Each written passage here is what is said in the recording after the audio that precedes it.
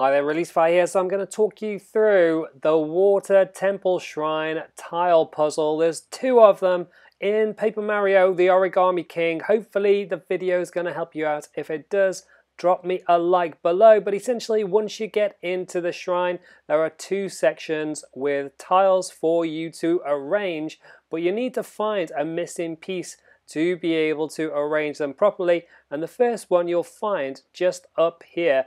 And it's just a case of smashing this POW when the crab carrying the tile comes across and then you can battle him out and get the tile and then you just need to arrange it in this formation and then drop the tile in and that will send the water on through and that is the easier of the two tile puzzles here in Water Temple Shrine However, on the right hand side, you'll find a much more difficult one. And once again, you'll need to find the tile and the tile can be found by heading through the cracked opening in the top left hand corner of the tile room.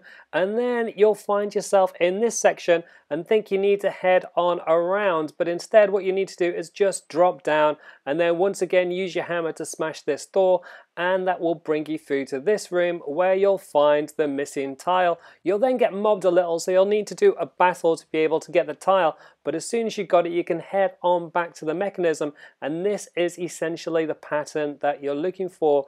Now, the process of explaining how I went from the jumble to the end results is pretty much impossible to go through in any kind of detail. So instead, what I've done is tried to condense down everything that I did to go from what I initially had when, uh, when I started to create the tile and the end result and make it as short as possible for you. So these are all my movements and workings for how I eventually got it.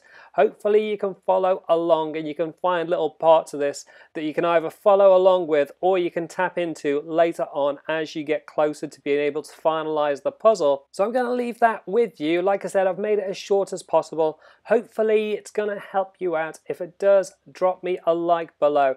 You can also subscribe to the channel if you haven't already, and there's links at the end of the video for the rest of my walkthrough guide to Paper Mario the Origami King. Leave any comments and I will catch you next time.